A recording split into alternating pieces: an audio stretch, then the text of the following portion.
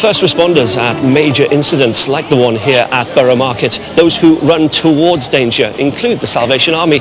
Founded back in 1865, their Christian mission to serve the community involves supporting the emergency services.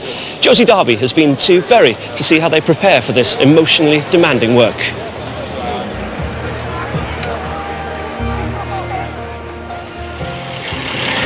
This is only a reconstruction but it's one of the very realistic training exercises for fire officers from across the country. Also arriving on the scene is a unit from the Salvation Army providing essential support and backup to the emergency officers. Husband and wife team Majors Nigel and Sue Tansley are manning the van. Five minutes of water will be boiled. I can put a list of what we've used for today. Great, I'll take this down then. The guys are working hard, they become dehydrated and providing tea, coffee and basic foods for them just to keep them physically going. But more than that, it's, it's a case of relaxation. It's normalising a very difficult situation for them and just those 10, 15 minutes when they're away from work means they can reset their minds, get things back into perspective. Over the years we've, we've attended fires, floods, all sorts of things and uh, I like it because it's Christianity with the sleeves rolled up and we're just there for people when they need them. They turn out in the middle of the night, provide us with welcome brews and they're always got a smile on their face. It's as important as the stuff we're doing not to fuel more. us, yeah? They actually provide a service if you need to go and talk to somebody else or get something off your chest. gives us that boost of energy that we need to keep going and um, yeah they're lovely people. For over 150 years, the Salvation Army, founded in London by William Booth, have loved their neighbours as themselves.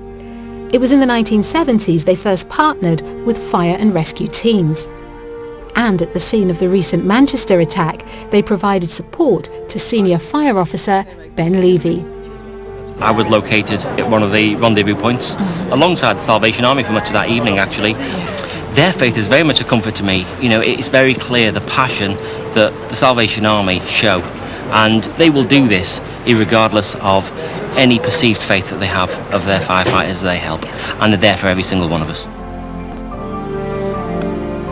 Well, it's several hours into the day now and the operation has moved into the rescue phase. In real life, however long it goes on, the Salvation Army will stay here too. It's trying to bring something of the love of Jesus, the peace of Jesus, the power of Jesus into a very, very abnormal situation. And if it's making them a cup of tea, I'll make them a cup of tea. If it's listening to the problems and the things that they've seen, I'll do that. Showing Jesus to the people in what you do. And sometimes maybe that's all they see of Jesus. And if that's what they see, a cup of tea, and it reminds them that God loves them, that's brilliant. That theme of love and service is reflected in our next piece of music, and it's sung by Southwark Cathedral's Merbecke Choir.